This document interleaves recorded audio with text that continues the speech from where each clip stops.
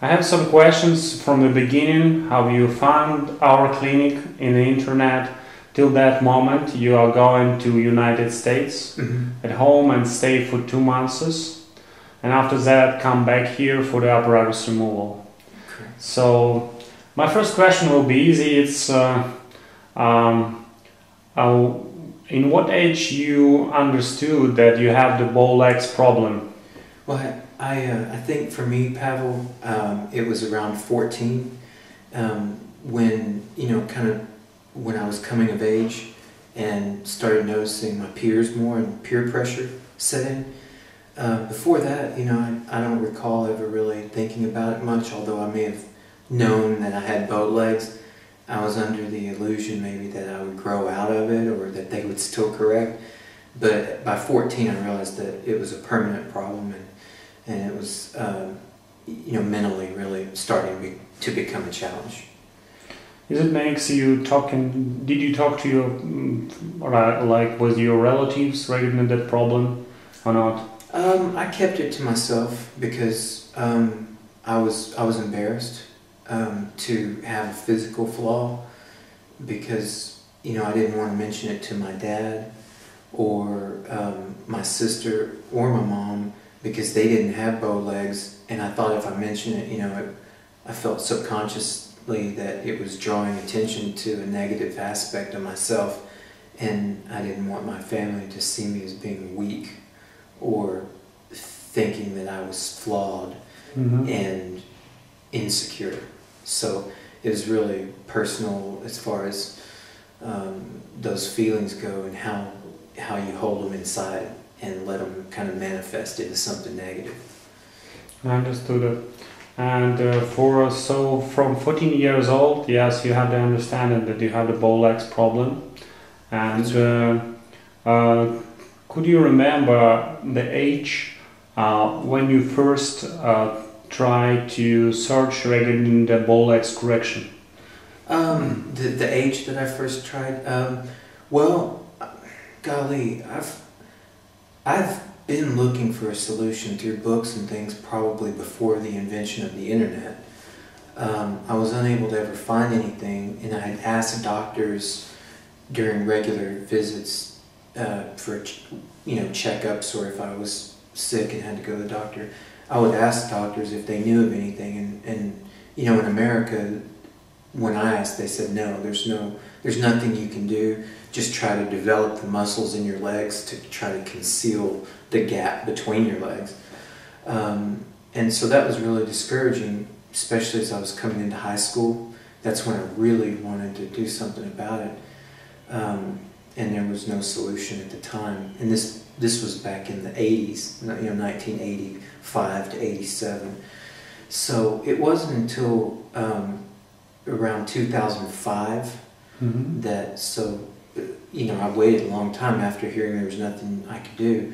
Well, by 2005, obviously we had the internet and I could search the world, um, and I started doing so probably in 2005 and um, didn't really find anything right off. I don't know what I was trying to search exactly, but it wasn't until two years ago, uh, in 2007, roughly late 2007, that I um, found Dr. Veklich and uh, the Ladisten Clinic here and um, was really, it opened my eyes to the possibilities that there, there may be not only this place that could fix my legs, but others. So it got me searching for uh, potential solutions and locations of doctors and clinics that could maybe help me out. And uh, so I, I was fortunate to be able to find, hey, I'm, I may be able to fix this. Mm-hmm. So uh, you have found information about the clinic in tw- 2007, that's right? Correct. And it takes around uh, two years for you to make the final deci- decision regarding coming to the clinic. Um, that's right. I the first year I researched was really um, grappling within myself with the notion that do I really want to do this at my age? Because I was, you know, roughly 37 at the time. Lived with it for this duration. I had children. I was married. Had, you know, been established in a career. Um, so it really was something that I thought, do I need to do this? Or can I, you know, live my life with the insecurity that I've felt for so long, although over time it had become muted because I'd lived with it so long. But finding a solution kind of brought it back to the surface so that, you know, not that it made me more insecure, but knowing that there was something I could do about this. Uh, deformity, you know, genuinely as a deformity.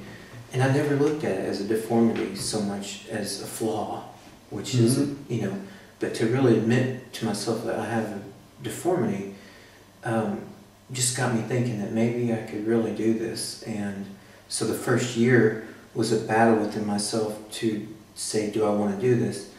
And if so, who do I want to mm-hmm. perform this? Who do I feel comfortable with based on repeatedly going to the website, seeing other patients' before and after pictures, things of that nature, trying to convince myself that a trip perhaps to the Ukraine or elsewhere would be a good, a good thing.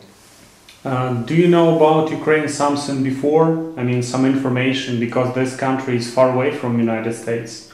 Well, um, I, I, knew really nothing about the current Ukraine because growing up, you know, we knew of this, the former Soviet Union uh-huh. and things of that nature, and the ties with the Ukraine and and Russia, and so I felt like I needed to get a little education on the current state of affairs in your country.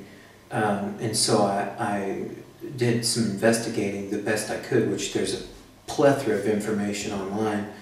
But what I found is that um, with although I hadn't learned the language and I hadn't understood the depths of the current politics, what I did understand is that things are quite different over here and uh, very modern.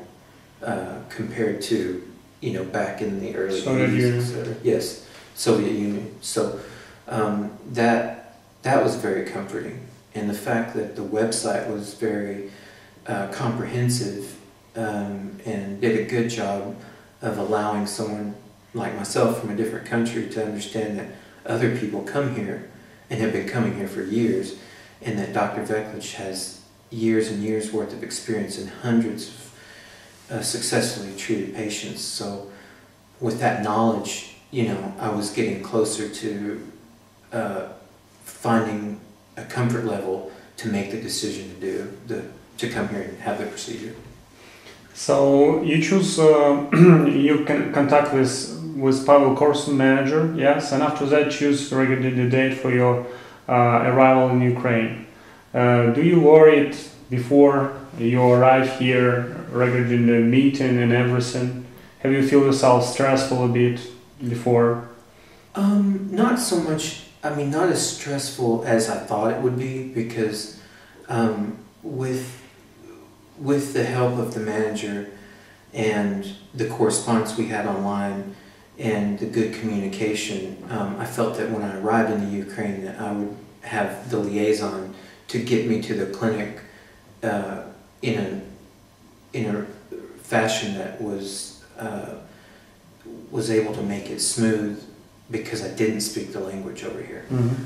So um, really, the language barrier was was more of a concern from a stress factor. But um, Pavel, you know, m- met me at the airport and uh, made it very nice. Uh, uh, and very quick. I mean, the whole trip here from the U.S. to the Ukraine was one of the smoothest trips.